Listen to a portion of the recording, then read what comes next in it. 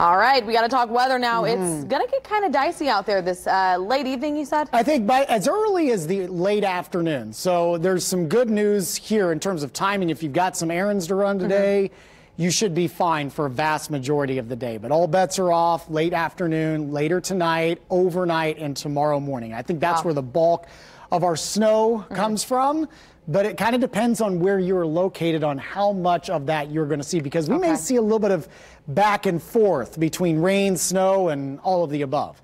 Let's show you where that system is located first. Now, you do have some snow showers. This is real light stuff in Illinois and Wisconsin and heading our direction. We may get a few flurries or sprinkles between, let's say, mid morning through mid afternoon from time to time. That will not be the system that we're tracking for later on tonight. And I don't think it will cause you any problems. You're going to be out traveling.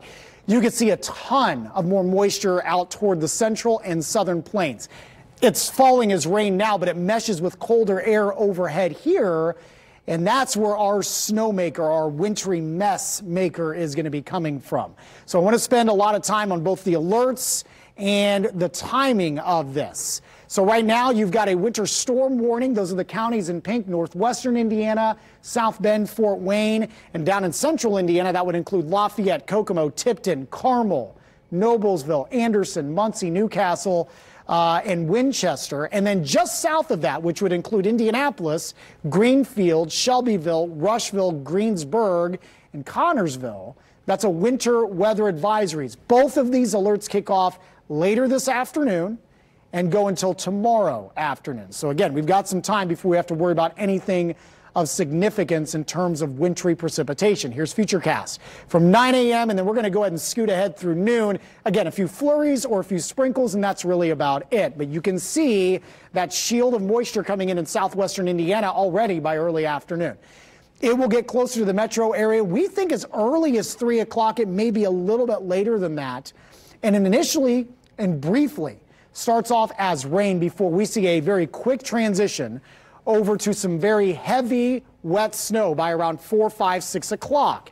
And that's where we're going to see uh, quick accumulations here. Even though our temperatures are above freezing, I think the snow is going to be heavy enough that it will overcome that, and we'll start seeing that pile up pretty quickly. And that will continue well into the mid to late evening hours.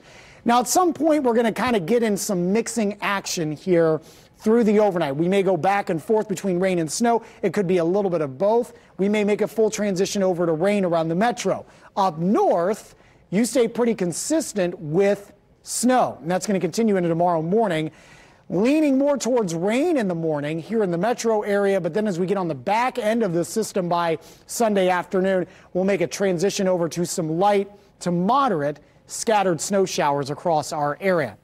In terms of impacts here, um, I think obviously accumulation is going to be of the highest impact. Timing is elevated. If you're doing some traveling, uh, maybe to basketball games for this evening, that's where it could be a bit problematic. But look, a lot of this is going to happen late night and into the overnight hours, and it's a weekend, so we're hopeful that there just won't be much travel impact here. And if we make a transition to rain in the morning, that may compact the snow a little bit more and help melt it on the roads. There could be a little bit of ice involved as well, so just kind of keep that in mind. So here's my initial thoughts. In that advisory area, I've got you in two to four inch range, four to six in the winter storm warning area in central Indiana, Lafayette, Kokomo, Muncie, Carmel, Anderson, and then way up north, South Bend, northwestern Indiana, Fort Wayne, I've got around six to 10 inches of snow. Here's more of a local view of it for you here. So the city in itself, probably around three inches or so. You get into Hamilton County, I'm leaning more to around four or five inches of snowfall. Chapman, heating and cooling, a day forecast. We'll finish with a high of 38 both today and tomorrow. Scattered leftover snow showers, light accumulation expected Monday 32. We're into the mid 30s and dry Tuesday and Wednesday. And then yet again, another robust system brings rain on Thursday 45. Another potential snow system coming in Friday with highs in the mid 30s. Marcus, thank you. Rescue from snow.